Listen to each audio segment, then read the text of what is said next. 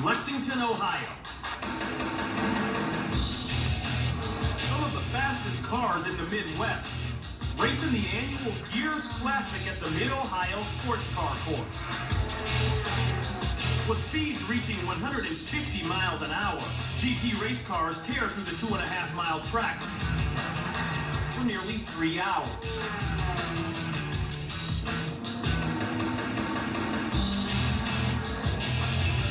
Four minutes to go in the race, driver Joey Hand battles to maintain his lead.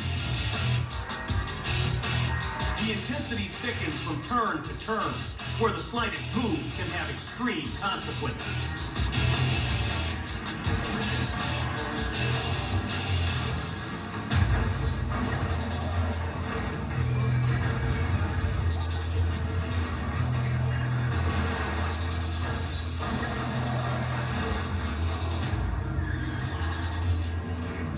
The impact sends Joey onto the grass.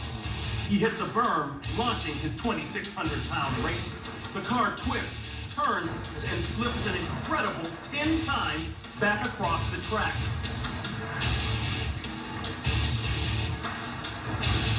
Then crash lands upside down 150 feet away.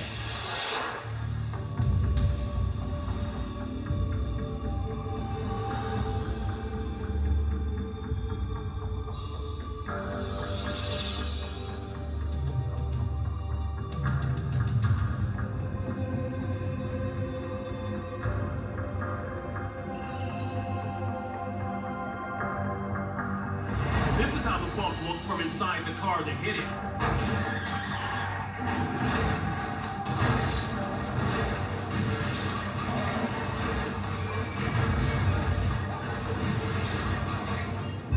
It's one of the worst crashes in the track's history, and the crowd is stunned. Then, the second most incredible sight of the afternoon.